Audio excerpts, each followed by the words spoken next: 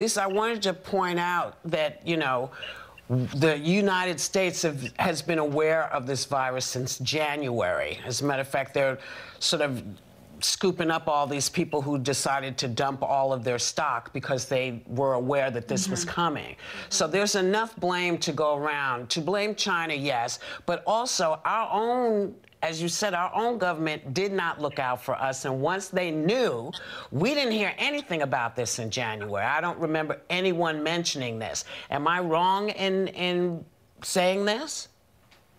Well, certainly the press was mentioning it. I mean, it was being widely reported. It was on the front page of every newspaper. But yet, we had a president that was in denial about it. And you know, Whoopi, I uh, a few weeks ago, I, I started to see a lot of posts of healthcare workers uh, working on the front lines of this crisis who were completely uh, who, who, said that they were just so unprepared in their hospitals. They didn't have enough supplies. They didn't have enough masks. And I just thought, this is just, it's astounding. We did have months to prepare for this, right? And so I started mm-hmm. um, posting about this, and I was receiving countless uh, messages from healthcare workers, sanitation workers, saying that so many of them are using the same masks over and over again, and they're not even the, the N95 masks. Mm-hmm. And, and I don't know if you saw, there's a photo circulating of a, a, a group of um, nurses in New York who are wearing glad trash bags yeah. to protect yeah. themselves. Yeah. I mean, we have the most well equipped army on earth or, or military on earth we would never let our men and women in uniform go out into battle unprepared. And that is what we're doing right now. Our doctors, our nurses, all of our healthcare workers, sanitation workers, these are people on the front lines of a battle, of a war, and they're going in there just completely unprepared. And it's just, it is absolutely ludicrous. And so I made this overture on most of my social media. Yeah. Exactly. There are a lot of people that are hoarding supplies, and I can understand why people would, would want to do so.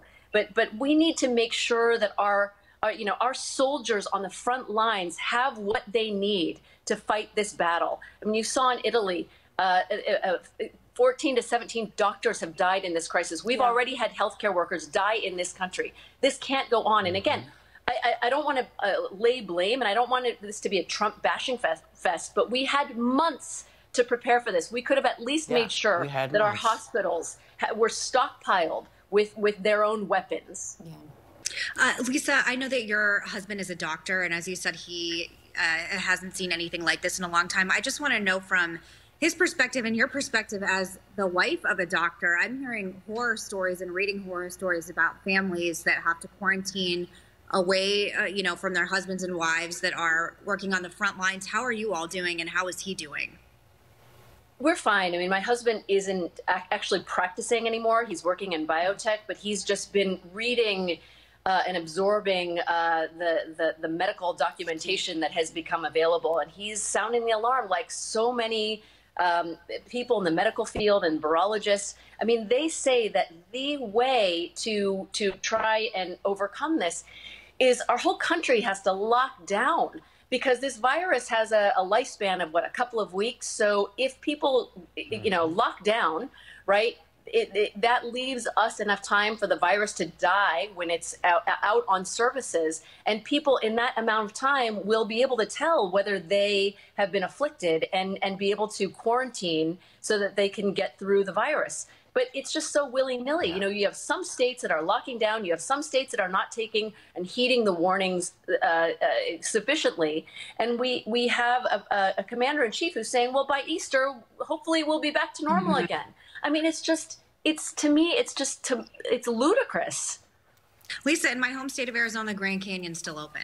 I mean, I think wow. I think that's absolutely blasphemous. And again, I think there's a lot of people that are going to have to pay for a lot of things. But I don't understand why what's happening in major cities hasn't trans- transcended to other parts of the country. It's horrible.